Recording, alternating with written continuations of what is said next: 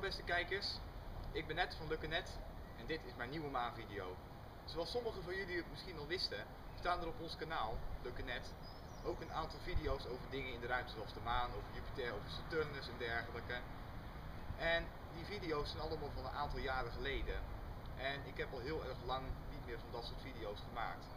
Dus ik dacht van misschien is het wel leuk als, dat weer, als ik dat weer eens een keer opnieuw doe dat ik weer nieuwe video's ga maken over de maan. Ook met uitleg erbij over wat we nou eigenlijk zien. Want dat is natuurlijk wel zo interessant. Dat zijn allemaal hele interessante dingen te zien op de maan. En het zal natuurlijk heel leuk zijn als jullie daar ook wat meer over te weten komen misschien. Een week geleden was er een hele mooie gelegenheid om een video erover te maken. Toen stonden de maan en Jupiter namelijk vrij dicht bij elkaar in de hemel. En dat was dus een mooie gelegenheid om ook een beetje iets te doen met de afstanden in de ruimte. Dus laten we kijken naar de stukjes video die ik vorige week heb gemaakt. De camera door deze telescoop. En uh, ja, ik wens jullie veel kijkplezier.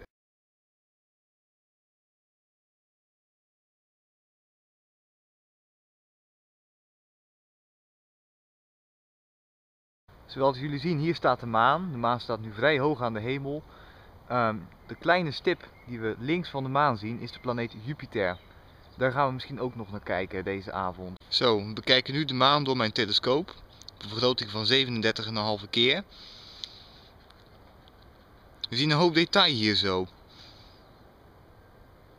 Een van de dingen die ons opvalt zijn de grote donkere vlekken op de maan. En de maan zit ook vol met littekens en kraters, allemaal sporen uit een ver verleden.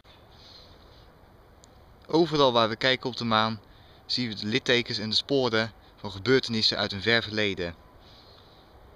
De grote donkere vlekken zijn de zogenoemde maanzeeën. Deze zijn ongeveer rond de 3 à 4 miljard jaar geleden ontstaan. Toen enorme meteorieten en andere objecten uit de ruimte op het maanoppervlak insloegen, waardoor er enorme meren van lava ontstonden. Dat kwam omdat de maan toen nog grotendeels vloeibaar was van binnen. De maan was in feite gewoon een bal van lava met een korstje eroverheen van gesteente. Dus het was ook niet zo verwonderlijk dat er zulke grote lavameren konden ontstaan. Inmiddels is het zonnestelsel een beetje op leeftijd gekomen. Onze zon is ongeveer van middelbare leeftijd en zo geldt het ook voor de planeten. Ze zijn niet meer jong en heet en dat geldt ook voor de maan. Er zit geen lava meer in de maan. De maan is nu slechts een harde bal van gesteente. Dus nu kunnen er geen nieuwe lavameren meer ontstaan. En al deze maanzeeën zijn dan ook daarom erg oud. Zo, we kijken nu op een vergroting van 75 keer naar een stuk van de maan rond Mare Imbrium. Dat is de grote donkere vlek die nu ongeveer in het midden van het beeld staat. We zien een opvallende boog. Dat is Sinus Iridum, de baai der regenbogen. Natuurlijk is dit niet echt een baai, want er is geen water, maar slechts hard gesteente wat ooit is ontstaan uit stollende lava. Maar goed, het lijkt wel erg op een baai en ja, het spreekt wel tot de verbeelding, zo'n zo naam als Sinus Iridum. Deze grote witte krater is krater Copernicus. Een mooie krater. Prachtig, toch? Al die witte stralen, mooie witte kleur. Zo, we kijken nu naar het zuidelijk deel van de maan. Hier zien we de opvallende krater Tycho, ongeveer hier in het midden van het beeld. We zien de zwaar bekraterde Zuidpool allemaal kraters. Stuk voor stuk voor stuk, bijna op elkaar gestapeld zijn ze. Terwijl, als we naar het noordelijke halfrond van de maan kijken, even terug naar Mare Imbrium, dan zien we eigenlijk in dat grote donkere gedeelte, Mare Imbrium dus, vrij weinig kraters. Het maanoppervlak is overal erg oud, vele miljarden jaren, maar Mare Imbrium is in feite jonger dan de Zuidpool van de maan. Op de zuidpool van de maan is er gewoonweg meer tijd geweest van meteorieten om in te slaan dan in Mare Imbrium. We zitten nog steeds op 75 keer vergroting, maar laten we al deze kraters op een nog hogere vergroting bekijken. Op 136 keer. We hopen een hoop detail te zien in deze maankraters. Zo, we zijn terug bij Mare Imbrium. 136 keer. Het beeld trilt een beetje. Maar ik hoop dat dat jullie niet al te veel stoort. We zien nog steeds Copernicus. We zien hier zo ook nog steeds Sinus Iridium en de krater Plato. Net zoals de bergen bij de Noordpool. We zien een hoop meer kraters hier zo. Allemaal kraters. talloze.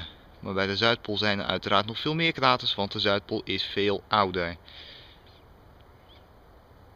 Ook zien we hier zo nog net de fel oplichtende kraterrand van de krater Hevelius. Prachtig gezicht. Zoals beloofd, we zullen ook nog even naar Jupiter kijken. Daar staat hij. Je ziet een beetje een geelachtige punt. Ziet er niet heel erg interessant uit, vooral helder. Je ziet dus dat de maan en Jupiter dicht aan elkaar, bij elkaar lijken te staan op dit moment aan de hemel. Maar schijn bedriegt. Ze, ze zijn gescheiden door een enorme ruimte. Jupiter staat veel en veel verder weg dan de maan. Het interessante is dat Jupiter ook een aantal manen heeft die ongeveer net zo groot zijn als onze maan. Denk bijvoorbeeld aan de manen Io en Europa die we zo dadelijk ook gaan bekijken. Dus stel je voor dat onze maan op die afstand staat. Hoe zou die er dan uitzien?